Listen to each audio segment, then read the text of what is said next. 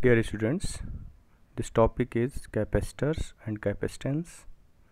A capacitor is a device that stores electrical energy.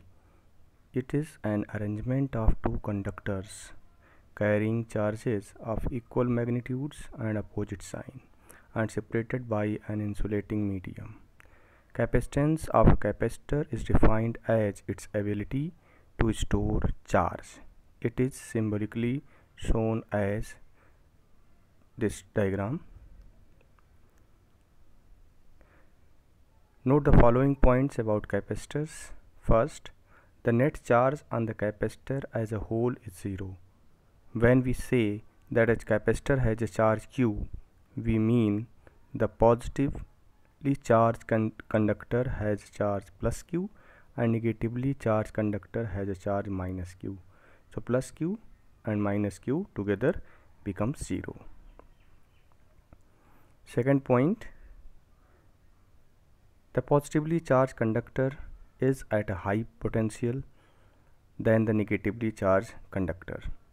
Third the potential difference v between the conductors is proportional to the charge q. The ratio q by v is known as capacitance c of the capacitor. Thus C is equal to Q by V. Fourth point, capacitance depends on the size and shape of the plates and the material between them. It does not depend on Q or V individually. Fifth point, the SI units of capacitance are farad which is equivalent to coulomb per volt. The practical value of capacitance are used usually measured in microfarad and 1 microfarad means 10 to the power minus 6 farad. Sixth, it is a scalar having dimensions m minus 1, l minus 2, t to the power 4 and a square. We can find this by the formula c is equal to q by v as we know that v is equal to w by q so this q by v will become q square upon w. Now c, now put the values of q. q is a into t, so its square will be a square t square upon the dimension formula of w means work done is m l2 t minus 2. If we combine them, we'll get m minus 1, l minus 2, t4 and a square. Now there are several types of capacitor. We are having the parallel plate capacitor. The figure and at next page depicts a parallel plate capacitor. We can see two large plates placed between to each other at a small distance d. The distance between the plates is filled with a dielectric medium as shown by the dotted array in the diagram. The two plates carry equal and opposite charge. Now see this diagram. Both plates are having charges plus q and minus q distance between them is a small d. The area of the plates are capital A. The medium which is kept in between the two plates is having dielectric with permittivity epsilon.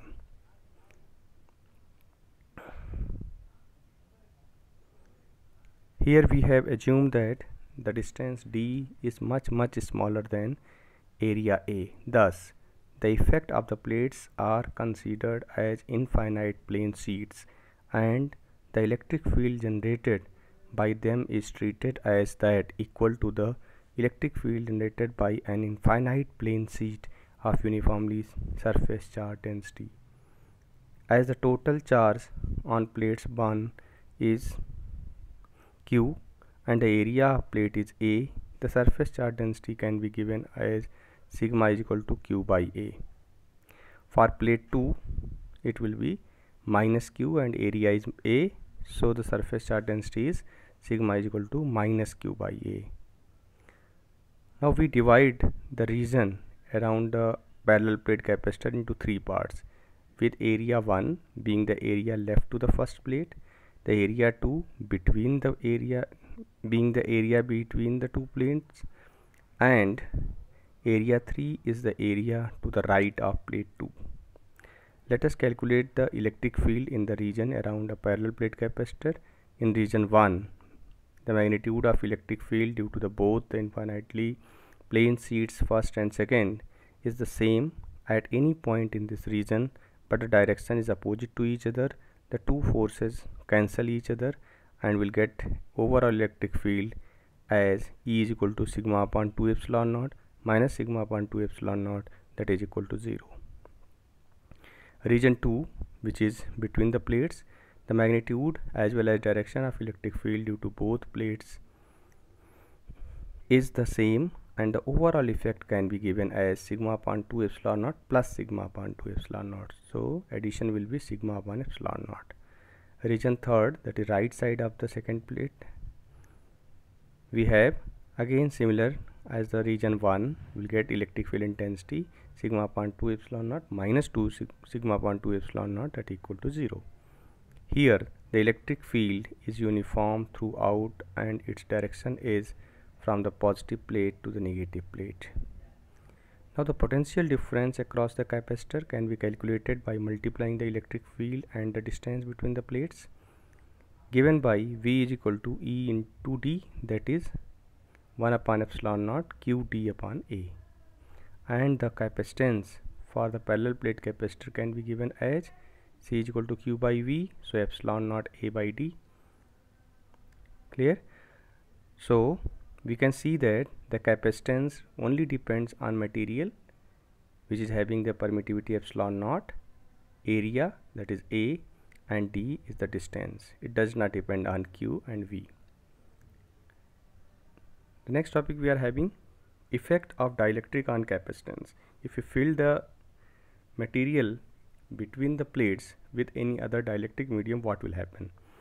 So we have read about the working of parallel plate capacitor and know that the value of capacitance depends on the material or the medium between the two plates. In this section we will learn in detail how the capacitance of a parallel plate capacitor changes when dielectric medium is inserted between its plates if we consider a simple capacitor with the parallel plates of area A separated by a distance d we can see that for a capacitor with charge plus q and charge on each plate plus q and minus q as the area of the plate is a the corresponding charge density can be given as plus minus sigma where sigma is equal to q upon a when the two plates having vacuum between them electric field between them E naught is equal to sigma upon epsilon naught. The capacitance of the capacitor can thus be given as C naught is equal to Q upon V naught that is epsilon naught A by D. Now let us consider another capacitor with the same specification as taken before. Let us insert a dielectric medium between the plates such that it fully occupy the space between the plates. As the dielectric enters the field between the plates it get polarized by the field and the charges get arranged such that they act as two charge sheet with the surface charge densities of sigma p and minus sigma p let as shown in the figure so now we are having two charges one on the surface of the plate one the surface of the dielectric medium now net surface charge density then becomes sigma minus sigma p plus minus the potential energy across the capacitor can thus be given as V is equal to E into D that is sigma minus sigma p upon epsilon naught into D. In case of linear dielectrics, we can say that sigma p is proportional to E naught and hence it is proportional to sigma. Thus, we can say that the value sigma minus sigma p is also proportional to sigma. Mathematically, sigma minus sigma p is equal to sigma upon k where k is a constant whose value depends upon the dielectric medium selected. The potential energy across the capacitor can thus be written as V is equal to sigma d upon epsilon naught k that is equal to q d upon a epsilon naught k. And the capacitance between the plates can be given as the formula C is equal to Q by V that is epsilon naught Ka upon D. here epsilon naught k is the permittivity of the medium which can also be written as epsilon that is epsilon naught k. So in place of epsilon naught k we can write epsilon. Now the value k is the permittivity of the medium such that for a given medium the value of k is epsilon upon epsilon naught. And the ratio of the capacitance of the capacitor with the dielectric medium to the capacitor with vacuum between the plates can be given as k is equal to c upon c naught where c is the capacitance with medium and c naught is the capacitance with vacuum. Thank you so much